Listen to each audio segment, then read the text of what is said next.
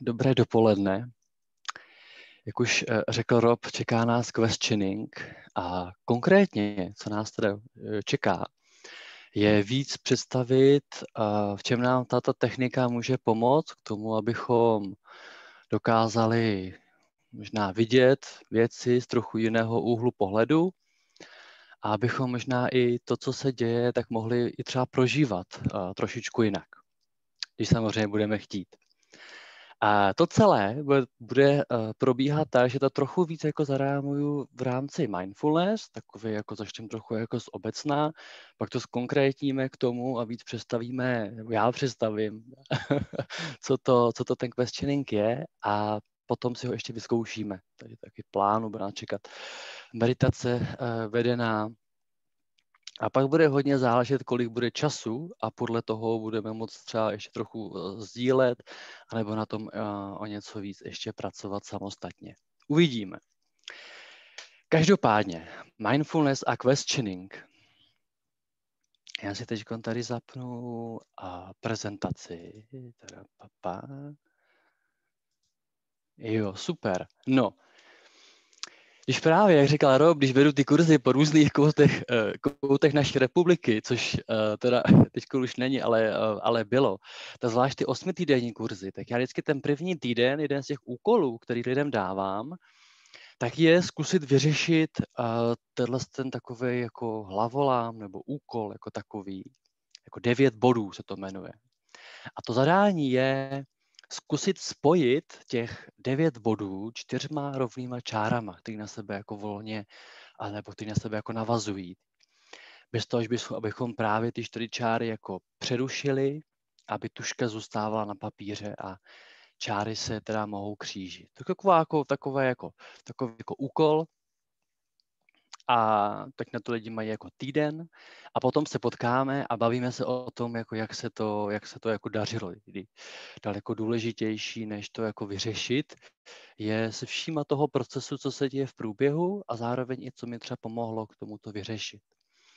No a to, co často lidi říkají, uh, říkají, tak jedni říkají, že to byl trik, že jsem se je snažil jako nachytat, že to vyřešit nejde a že jsem se je snažil vystresovat, abychom potom mohl, abych potom mohl říct, vidíte, a mindfulness vám k tomu jako pomůže, jo.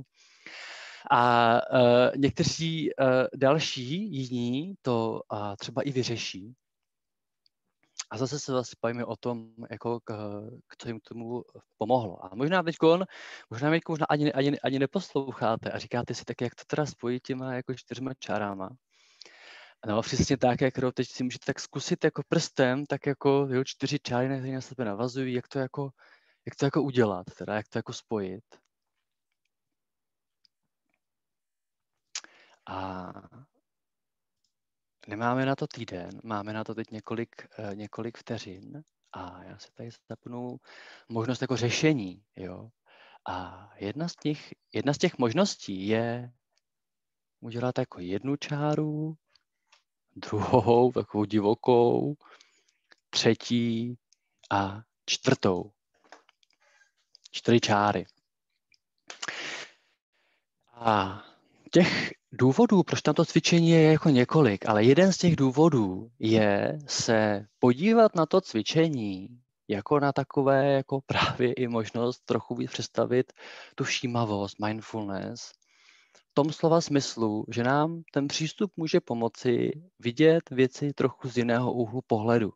Jo, velmi často tak tíhneme k tomu jako spojovat ty body tak jako jenom v rámci toho uh, čtverce de facto a nenapadne nás jako výjít ven, což je vlastně něco, o co nám tu chvíli může jít, jako zkusit vidět sebe trochu jinak, vidět trochu jinak svoje třeba navyklé vnímání situace nebo automatické, automatické vzorce.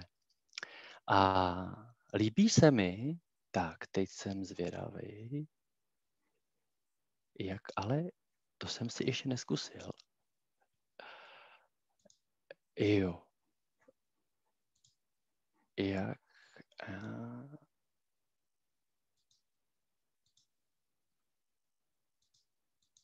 Ha, super. Líbí, tak, já to totiž zapnu znovu. Tak, líbí se mi pohled na mindfulness jako na takové světlo, kdy v černé místnosti nebo pokoji, kde je, eh, kde je tma, nám právě ta všímavost může dodat více světla a uvidět dveře, o kterých jsme si ani nemysleli, že by tam uh, mohly být.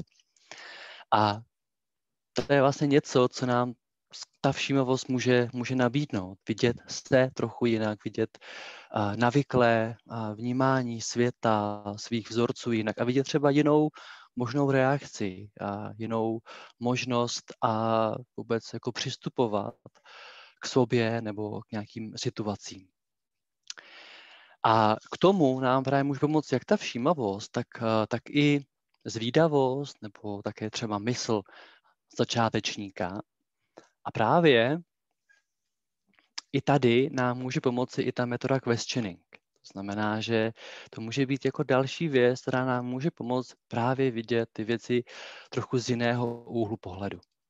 Ten přístup jako takový pochází z buddhismu, nebo aspoň tam jsem ho objevil, taky, v tomto kontextu. A uh, tam ta nejčastější otázka, protože to je hodně spojený jako s otázkama, kladením si otázek, tak ta nejčastější otázka je tam třeba, kdo to pozoruje, jako při meditaci, jako kdo to pozoruje, ten dech. Nebo moje oblíbená otázka je při meditaci v chůzi si pokládat otázku, kdo to kráčí. Kde ty otázky tyhle ty přímo směřují vždycky jako k nějakému tématu. A to téma je tady tak jako víc proskoumat to jako pravé a nepravé já, kdy asi přirozeně možná vás tak jako napadá, že když budete kráčet, teď si položíte otázku, kdo to kráčí, že vás možná jako nenapadne hned jako jasná odpověď. Jo, jasně, tak to je, jo, jo, aha, jo. Ale že možná spíš to jako může jako podpořit takovou zvídavost, možná jako vystoupit trochu z takového jako běžného zažitýho vnímání, jo, tak to kráčím já přece, to je jasný, ne? Kdo to jiný, když je kráčet, jo.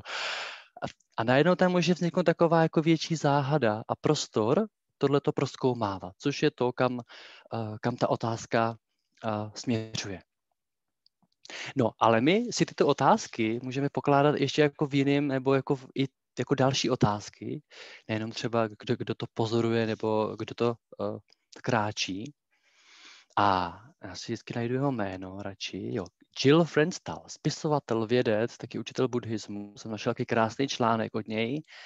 A on popisuje, že si jako celý život pokládá různé otázky a popisoval situaci, když byl malý, tak se hodně bál jako být sám v pokoji, když, když byla tma, když tam byl jako sám a tam byla jako ta, uh, ta tma. A napadlo ho si pokládat otázku, uh, bojím se víc toho, co je okolo mě nebo uvnitř mě. A to, co říkal, bylo, že jako, jako nenašel tu odpověď, nebo nepřišla jako hned jako jasná, jasná odpověď. Ale to, co se stalo, je, že ten strach se o něco jako snížil. A, a to je něco, co nám právě i toto jako kladení otázek může, může nabízet. Já jsem tak jako si hledal svoje otázky a já když jako medituju, tak jedna z věcí, se kterou se jako, jako někdy jako potkávám, je takový jako usilování, jo, jakože bych chtěl, aby, jo, aby tam bylo méně myšlenek, abych, aby uh, jsem tam cítil třeba něco víc jako příjemného. A nebo je tam takový jako očekávání, jo, jo, jo, teď to je takový nějaký, ale pak to přijde, jako pak to přijde pak přijde ten pocit radost, ten jako spokojenosti a klidu, jo, a, a to se stane, že a teď čím víc se tam snažím být, čím víc na sebe tlačím, je tam taková jako tenze. A tak jsem si tak jako začal víc pokládat otázku, jaké by to bylo, kdyby to, co teď vnímám, stačilo. Bylo akorát. A tak se jako pokládám tu otázku a to, co se děje někdy, je, že někdy začnu vnímat takové jako uvolnění a sklidnění. Někdy si tako, skrz to uvolnění a sklidnění všimnu ty tenze v těle, kterou jsem si třeba, který jsem si třeba úplně jako nevnímal do té doby. Což mi vlastně po, jako pomáhá k tomu jako víc umět později jako nacítit tu tenzi, která je spojená s tím jako usilováním. A někdy jindy zase jsem jako vnímal takovou jako, jako radost, jako z toho, že to, co se děje, fakt může stačit, takovou jako spokojenost s tím, a někdy i jako dojetí a někdy je takovou jako, víc jako zvídavost, tak, tak co teda teď konce děje, když to teda jako stačí. Což je něco, co mi ta otázka tak jako přinesla. Tak občas jako pokládám. No a, a můžeme samozřejmě využít další otázky, kdy a to může být otázka nejenom ty, které jsme teď zmínili, ale právě to může být otázka, jaké by to bylo, kdyby to, jak teď medituji, a stačilo. Nebo jaké by to bylo, kdybych se teď přestal snažit. No, jako položit tu otázku a vnímat, jestli něco z toho otázku tak jako přichází. Nebo jaké by to bylo, kdybych byl spokojený sám, sama se sebou. A teď ty otázky jsou jako různý a různý a směřují, tušíte, na různá témata, která někomu můžou rezonovat, někomu, někomu, někomu vůbec. Čímž teď ty příklady se dostáváme i k tomu, teda, jak s tou technikou pracovat, nebo jaký, jak teda to přímo dělat. To, to je to jako několik uh, kroků, které jsem dal dohromady. A to první je tu otázku prostě položit. Jo, tak si tak jako vnitřně říct jednou, víckrát třeba. A všimnout si toho, nebo ještě takhle, a nehledat odpověď. Jo? Není to o tom, jako o tom přemýšlet. Jo? Tak co to znamená teda, když nebudu usilovat, jo? že tam mám jako najít nějakou odpověď. Je to spíš o tom si všímat, jestli právě jako s tou otázkou se něco děje.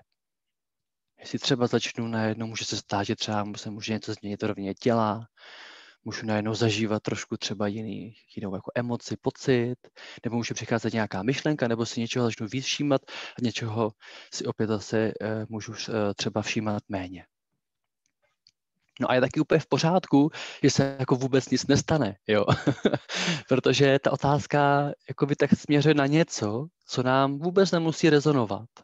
Protože ani tady nemusíme jako mít dojem, že jako něco musí přijít, ale spíš tak jako si tu otázku nebo otázky se zvídavostí pokládat a vnímat, zdá a co přinášejí. No. Tak, čímž se i dostáváme k tomu, že nás teď čeká právě cvičení. Mindfulness, meditace všímavosti, kterou uděláme tak, že já vás tak jako budu jít tak jako mm, provázet mám trochu pozorovat svůj dech a pak už to nechám hodně volně, nebudu do toho moc vstupovat, ale budu vám čas od času právě nabízet ty otázky. A vy si je tak můžete zkusit položit a jen tak si všimnu, jestli něco přinášejí nebo ne. A můžou, nemusí, je to, je to v podstatě jedno, je to spíš takový mm, takový test, taková laboratoř, jo, to jako vyzkoušet. Tak jo, já mám na konci cinknu, takže vidíte, že, nebo uslyšíte spíš, že na konci nebo to bude dáno tím. Tak jo. Tak se tak můžeme uvelebit tam, kde teď jsme. Nechat oči otevřené nebo je zavřít, jak je nám příjemné.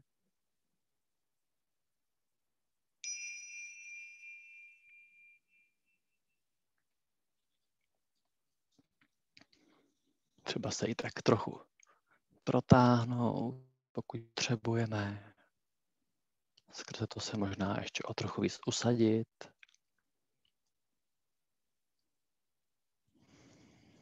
To můžeme tak teď více zavnímat, kontakt se zemí.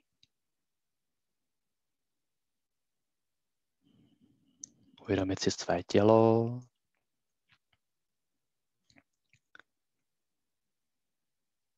A následně teď tak pozvolna přesouváme více pozornost ke svému dechu. Bez potřeby dech nějak měnit nebo ovlivňovat.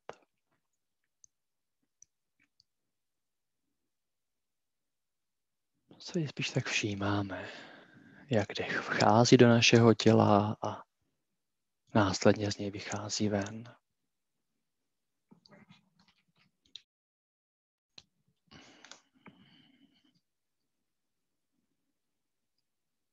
A zároveň, kdekoliv zjistíme, že jsme pozorností jinde, tak se jen znovu a znovu vracíme zpět ke svému dechu.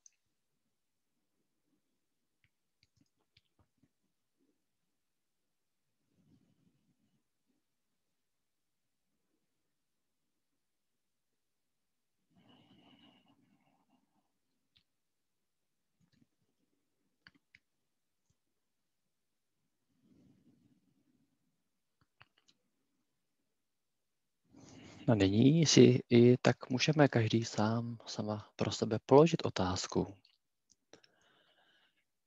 Jaké by to bylo, kdyby to, co teď vnímám, zažívám, stačilo, bylo akorát.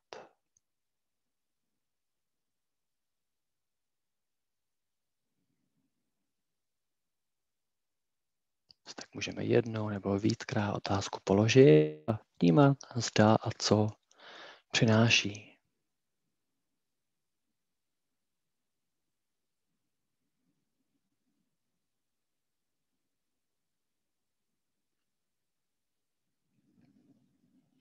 Stejně tak si můžeme i třeba položit otázku,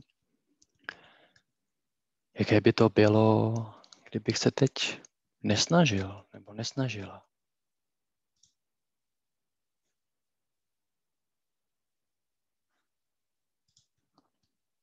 Přirozeně mohou přicházet příjemné, nepříjemné nebo neutrální věci s touto otázkou.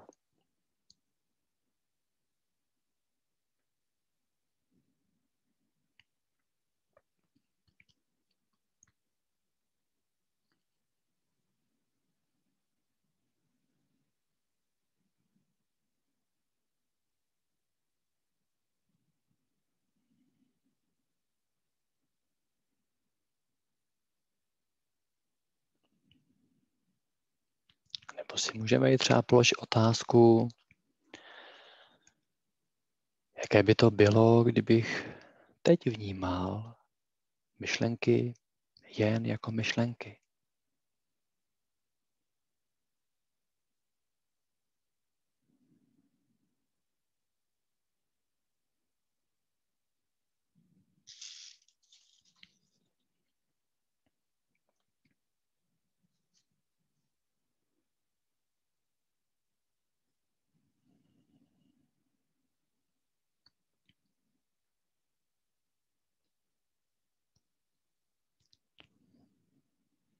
Ještě si tak můžeme položit jednu otázku. Jaké by to bylo, kdybych teď důvěřoval přítomnému okamžiku?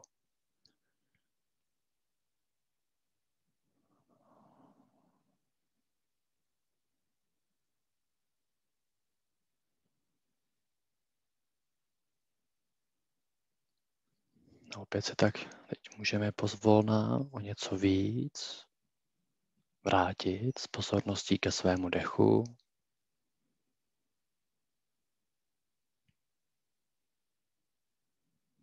Víte si uvědomit kontakt se zemí a vnímat, jak tu teď sedíme. Vnímáme svůj dech,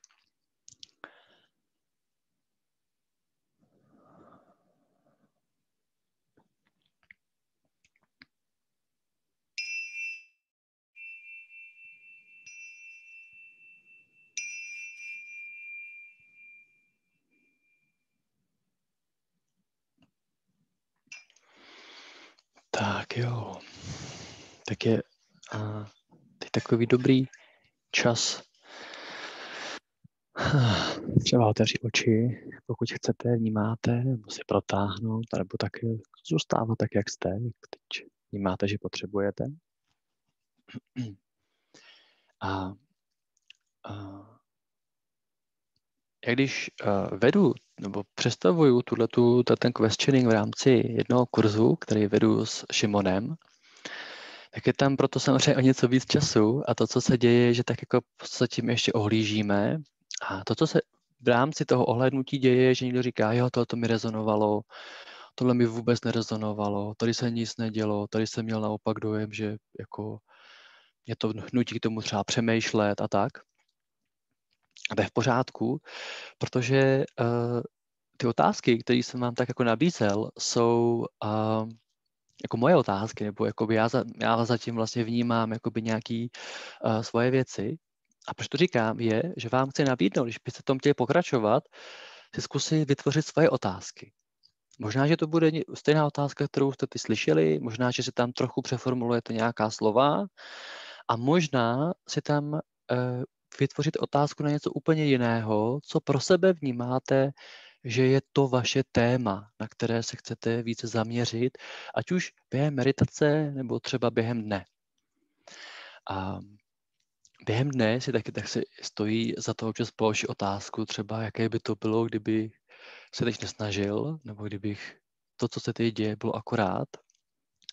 Vzpomínám, že jsem si co okolností to bylo, když jsem čekal eh, ve skautáku, až mi začne workshop, tak jsem tam tak seděl a přicházely takový různý kritické myšlenky, jako jestli to dobře dopadne, jako ten workshop a pak přicházely další, jako že bych tady měl být dál, tohle to bych měl zvládnout, už bych měl mít svůj byt, jo. Takový různý příci jako přicházeli tam v té domělé pohodě čekání na workshop. A mě si tehdy po, jako napadlo si položit otázku, jaké by to bylo, kdyby vše, co se děje, se dělo ve správný čas a mělo svůj správný důvod, nebo mělo správný důvod.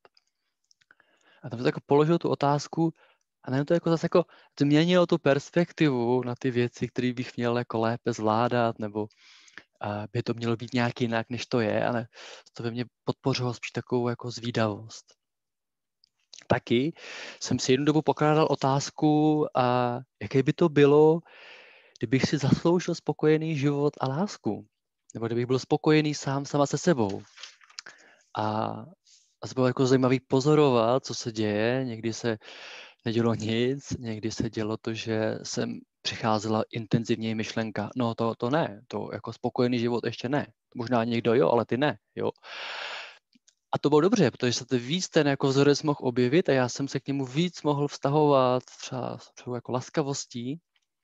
A někdy to přicházelo takové jako uvolnění a dojetí. Jo? Takže jako i, ta, to, i ta otázka a nějakou dobu pokládání si nějaký otázky sebou může přinášet jako nový pohled na nás, na naše vzorce, na naše vidění světa. Tedy to, co vám chci nabídnout, je si právě zkusit vytvořit svoje vlastní otázky a zkusit si je takhle pokládat, aniž byste hledali dál odpovědi. A to, k čemu vám to může pomoci, je právě možnost vidět ty situace trochu z jiného úhlu pohledu možná nemuset ty problémy vidět jako problémy, na které, potřebuje, které potřebujeme analyzovat, které potřebujeme vyřešit, ale možná je můžeme víc jako pozorovat.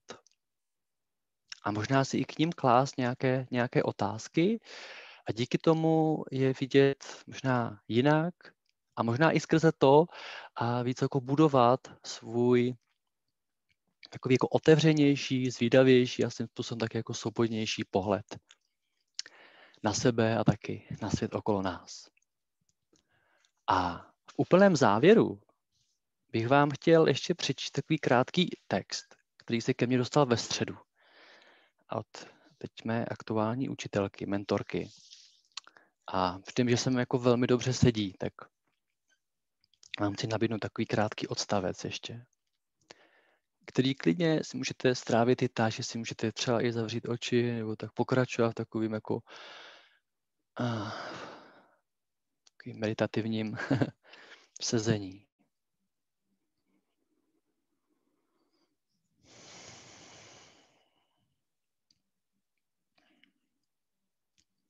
Možná, že pravá moudrost spočívá v tom, že nehledáme odpovědi. Jakákoliv odpověď, kterou najdeme, stejně nebude pravdivá na dlouho. Odpověď je místo, kde můžeme usnout a kde nás pohyb života míjí ke své další otázce. Po všech těch letech jsem začala přemýšlet nad tím, jestli tajemství dobrého života nespočívá v tom, že neznáme všechny odpovědi, ale že ve společnosti lidí, které máme rádi, se věnujeme otázkám, které nemohou být zodpovězeny. Ráchel Naomi Remen. Tak jo.